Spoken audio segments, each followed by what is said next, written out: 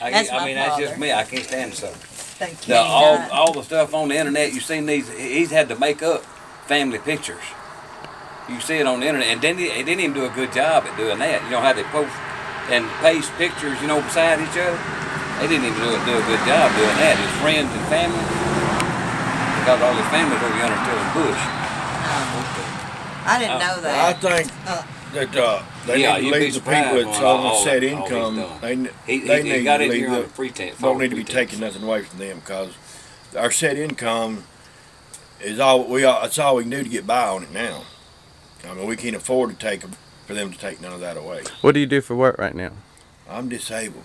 Okay. Uh, and that's what I'm saying. I can't afford for them to take nothing away from me because I've got two kids I'm trying to put. Have they through taken anything away yet?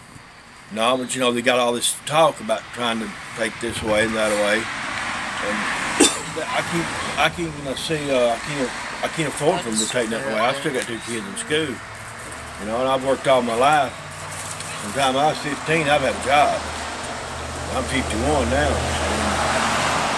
And what I'm saying is, I, I should be drawing more than I'm drawing, but I, what I'm drawing is is just getting me by. You know, I mean, there's no nothing left over.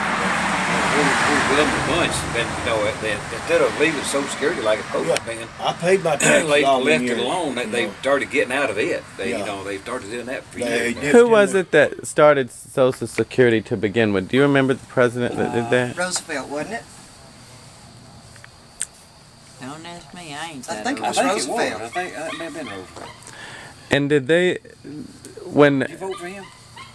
Oh, yes. and when they started Social Security, kind of like the health care plan, you know, it's I guess the two are a little bit different, but same principle. I guess a lot of people thought, oh, the government's taking over, you know, they're going to do Social Security. Now people couldn't be without it. Mm, well, we- exactly. We paid it in, and it should be there. Right. They exactly. shouldn't have dipped into it to start with. All this other stuff they funded out of it. Yeah, they should They should- they should- What do you think about the health care plan? That you know, been a lot of talk about that. I don't agree with it. some people can't afford it. I mean, I'm a It- cancer survivor. I'm still going to cancer, and I'm gonna tell you something. Uh, one chemo session and radio radiate radiate radi- radiation treatment session is like twenty one thousand dollars. Where do you start paying a bill like that at? How did you pay a bill like that? Uh, well, I'm having to pay just what I can because my Social Security, uh, I only draw $143 a month. Get that? Well, Mississippi is the poorest state in the union.